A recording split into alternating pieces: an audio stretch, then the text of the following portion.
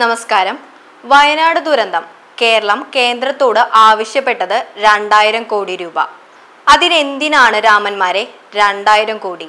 ഇവിടെ സംഭവിച്ചിരിക്കുന്നത് ഒരു ലോക്കലൈസ്ഡ് ദുരന്തമാണ്.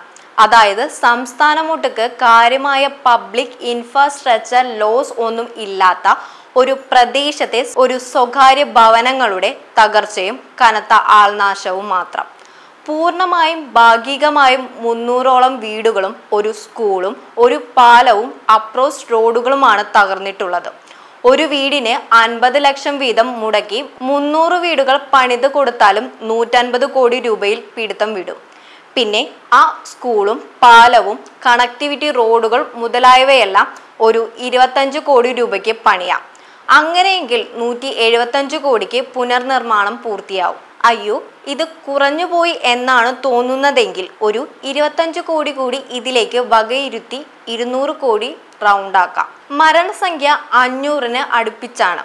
മരണപ്പെട്ട ഒരാൾക്ക് പത്ത് ലക്ഷം വീതം ബന്ധുക്കൾക്ക് നൽകിയാലും അൻപത് കോടി രൂപ മതി അതിന്. അതിജീവിതർക്ക് വീട് മാത്രം പോരല്ലോ.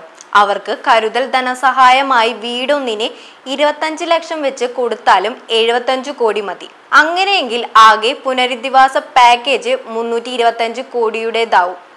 ഈ സമയം കൊണ്ട് വിവിധ സ്ഥാപനങ്ങൾ ട്രസ്റ്റുകൾ വ്യക്തികൾ ഒക്കെ കൊടുത്തതും കൊടുക്കാമെന്ന് വാഗ്ദാനം ചെയ്തതുമായ തുക ഇപ്പറഞ്ഞ പാക്കേജിന്റെ ഇരുപത്തഞ്ച് ശതമാനത്തോളം വരും.